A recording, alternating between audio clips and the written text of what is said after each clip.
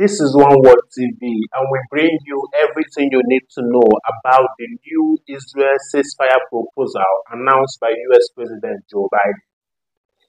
US President Joe Biden on Friday laid out a three phase ceasefire proposal from Israel to Palestinian Islamic group Hamas to end the war in Gaza that has killed tens of thousands and caused a humanitarian crisis.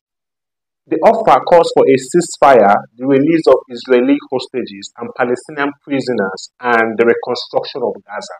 A senior U.S. official said the four and a half page plan had been sent to Hamas on Thursday for a review and that it was almost identical to a proposal the militant group had already accepted. Prime Minister Benjamin Netanyahu's office said on Friday that it backed the plan.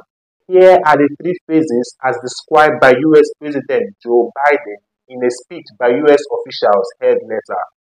Phase 1 Ceasefire, limited hostage release, and Israeli withdrawal.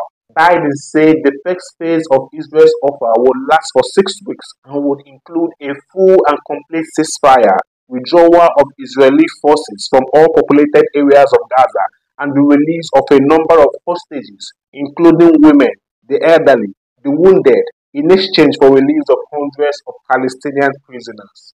Biden added that in this phase, Palestinian civilians will return to their homes and neighborhoods in all areas of Gaza, while humanitarian assistance will increase to 600 trucks carrying aid into Gaza every day.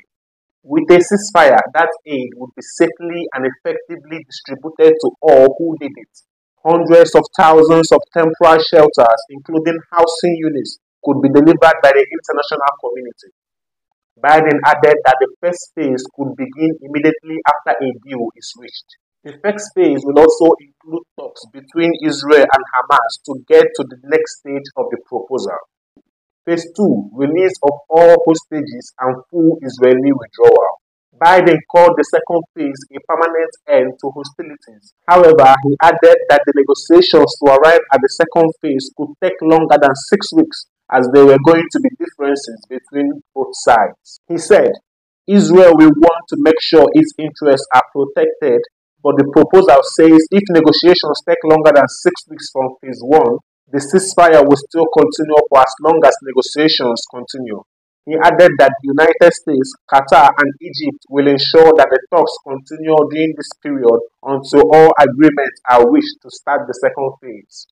The second phase will see the release of all remaining hostages who are alive, including male soldiers, while Israeli forces will withdraw from Gaza, according to Biden. He added that as long as Hamas lives up to its commitment, a temporary ceasefire will become the permanent end of hostilities. Phase 3 Reconstruction and Return of Bodies.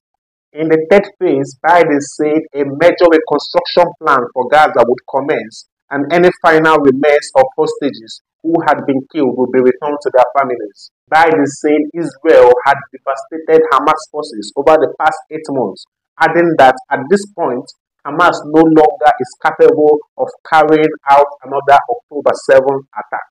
In the deal to rebuild Gaza, Biden said Arab nations and the international community will also participate in a manner that does not allow Hamas to rearm. He added that Washington will work with its partners to rebuild homes, schools, and hospitals in Gaza, where the war had displaced nearly 2.3 million population. Thank you for watching. Subscribe to One World TV for more updates.